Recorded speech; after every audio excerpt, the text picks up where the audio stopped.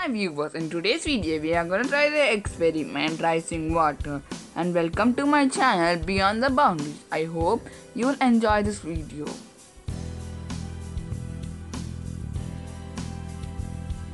The materials required for this experiment are a plate,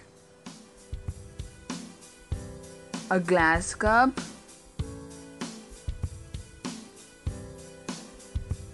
colored water, a candle, and matchbox. If you have all these materials, let's start doing the experiment. Take plate and the candle.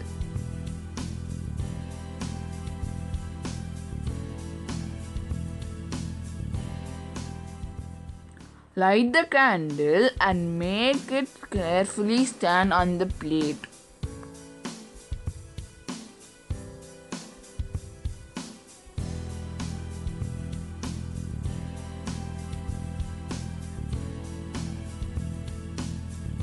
Take your parents' help while doing this.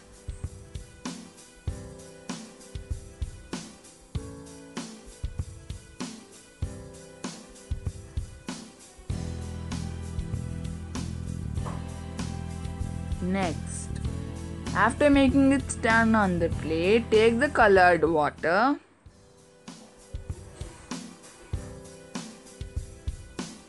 and slowly pour it into the plate.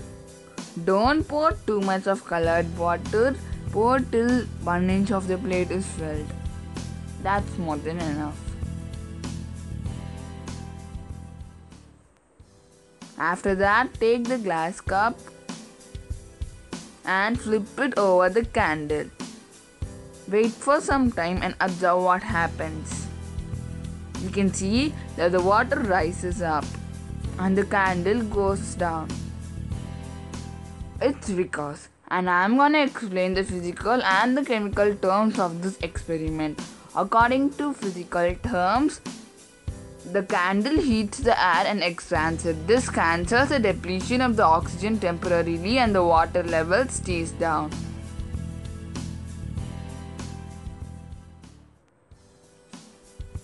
When the oxygen is depleted, the candle goes out and the air cools. The volume of the air decreases and the water rises. The temporary change in the temperature delays the rise of the water.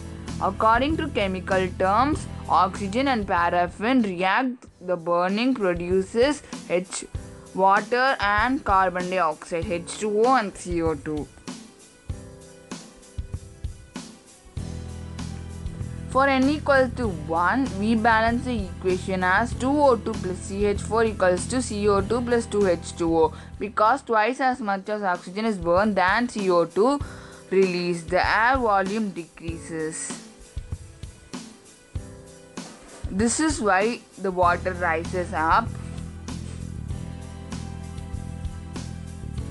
Like, share and subscribe for more videos. Comment below for your ideas for my next videos. Thanks for watching.